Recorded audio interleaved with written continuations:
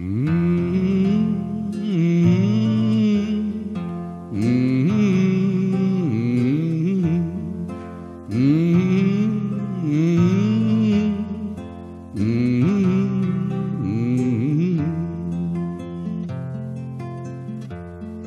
dok je bio mlad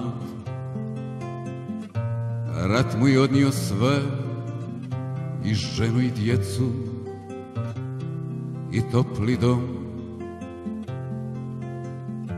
Ostao je sam I zaboravio na prošlost Jer Pjer više nije Bio Pjer.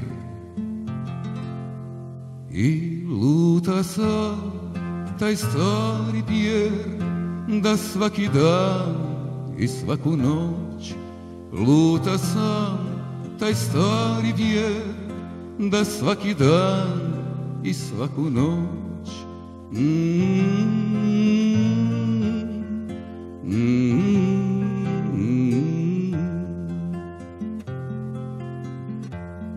je ipak ostalo nešto i mnogi su imali priliku da ga vide kako svira usnu harmoniku.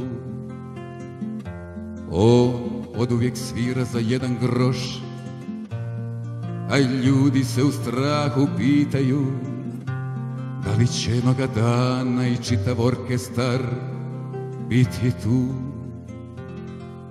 I svira sam taj stari vjer da svira još za jedan groš svira sad taj stari vjer da svira još za jedan groš mm.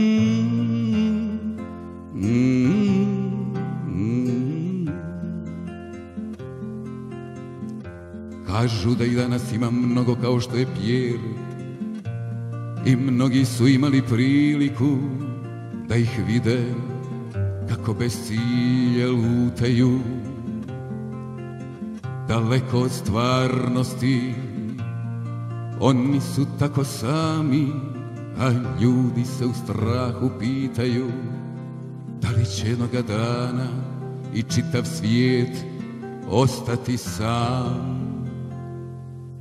I luta sam taj stari pije da svaki dan i svaku noć luta sam taj stari pije da svaki dan i svaku noć i svira sam taj stari pije da svira još za jedan groš svira sam taj stari pjer Da svira još za jedan groš mm, mm, mm.